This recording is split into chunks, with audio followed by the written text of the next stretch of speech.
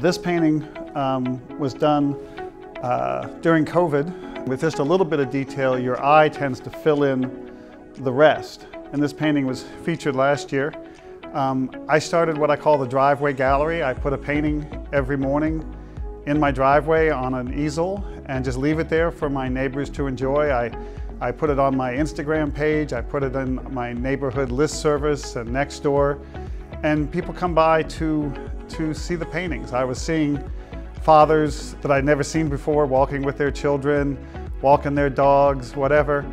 And it's really nice to be able to interact with people, even during COVID, um, talking about my art. It's one of the main things I missed by not being able to do shows just like this. Um, everything got canceled, and this allowed me to talk to people about my art um, and to share my art with, with people, which is what I really enjoy.